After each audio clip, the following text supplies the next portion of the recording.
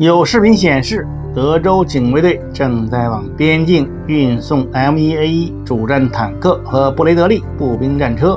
德州副州长甚至警告拜登别惹德州。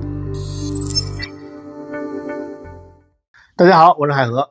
前不久，一个朋友和我提到，要说吃瓜还是美国的瓜大。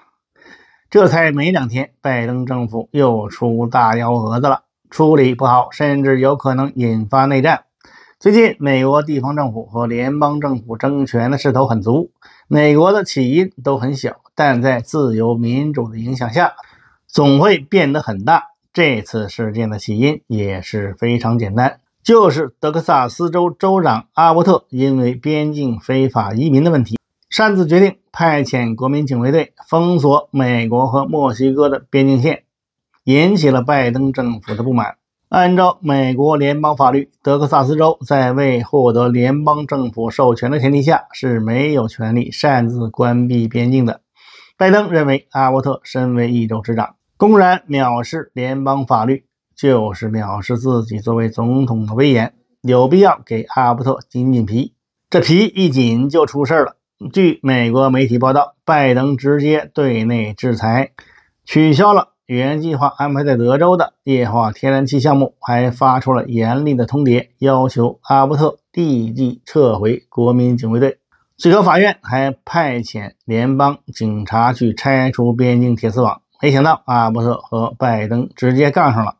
阿伯特认为自己作为一州之长，有权利保护自己的辖区不受非法移民的困扰，对拜登的要求不予执行。不仅如此，阿伯特还发布了一份声明。阐述了自己的正当性，谴责联邦政府政策不当、管辖不力。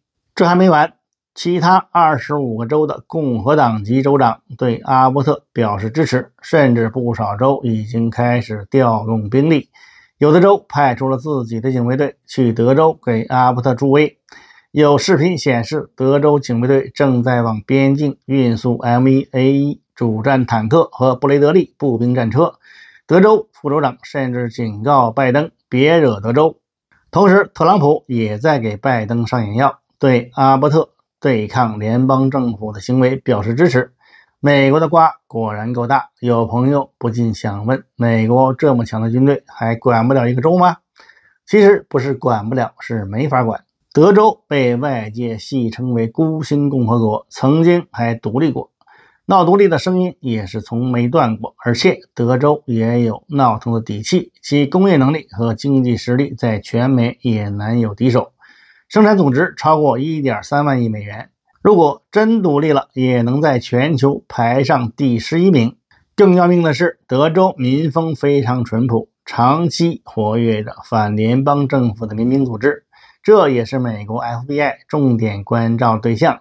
而且德州民众普遍持枪，到处都是射击靶场，正八经的搞事儿，恐怕也够美国喝一壶了。但是我们心里也要明白，这就是一场各地方政府夺权、夺利益最大化的政治闹剧。双方虽然言辞上比较冲动，但其实就是打打嘴炮，调动国民警卫队做做样子而已，也算是对拜登政府施压。各州州长向联邦政府讨要更多权力。